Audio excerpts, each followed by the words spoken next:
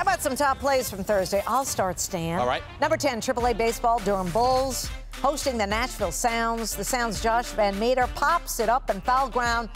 Johan Lopez going into the netting. An unbelievable grab. Are you okay? It is a believe it. Bulls would lose 4 2. Number nine, Division two college football, North Greenville, Charleston Southern. Fourth and 27. North Greenville's Dylan Ramirez to Quinn Sanders, who laterals it to Corey Watkins, and they get the first down. Coach not saving this play. He's breaking it out first game. They get the first down, but North Charleston gets the win 13-10. Number eight, Uh, Utah. Charleston Southern, I think. Utah hosting Florida. Florida's Graham Mertz up to Caleb Douglas. Remarkable TD catch by Douglas. You see it for yourself. Florida lost though, 24 to 11.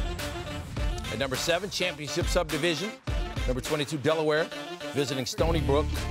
Check out the catch from Delaware's Jordan Townsend, defender all over him. But he got it, completed the catch to the ground. Delaware beat Stony Brook 37-13. Number six NCAA women's soccer, Texas A&M Tulsa. A&M goalie Kenna Caldwell from nearly midfield scores. Take another look. What a shot from Caldwell. Texas A&M wins 2-0. Number five from the U.S. Open, Andy Murray. Grigor Dimitrov. Look at Murray adjust to that shot that bounced off the net and able to return it beautifully. That was nice, but he lost in straight sets. Dimitrov moving on. Number four, Minnesota hosting Nebraska, fourth and 10. Athan Kaliakmanis fires a pass to Daniel Jackson, who somehow got a foot inbounds for the touchdown. You only need one. Daniel Jackson. Minnesota wins 13 to 10.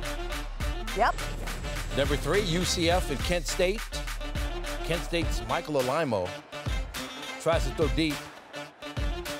Intercepted by DeJordan Mask. Mask able to undercut the throw and make the interception. UCF big 56-6.